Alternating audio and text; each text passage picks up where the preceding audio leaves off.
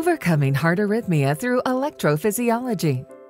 Electrophysiology is dealing with the electrical rhythm disturbances of the heart. There's a significant number of patients that have uh, heart rhythm problems, people that have atrial fibrillation, people that have ventricular tachycardia, people that are fainting and passing out, people whose heart goes slow. They need pacemakers, they need defibrillators. We can go in and burn and cauterize areas inside the heart to cure uh, heart rhythm problems like atrial fibrillation. There's very few long-term bad things. I mean, there's obviously risk to any procedure, but uh, in general, these procedures are very safe. There's a very good likelihood that you're going to be cured, and the, the likelihood of a recurrence is under 10%. Again, depending on the what we're treating, what kind of thing we're doing, the benefit could be improved survival because they've been feeling bad, tired, fatigued, worn out, short of breath, the heart's racing, uh, dizzy, fainting, passing out, and we've resolved that. It's fixed, it's gone. So for those people, I think it makes a tremendous difference.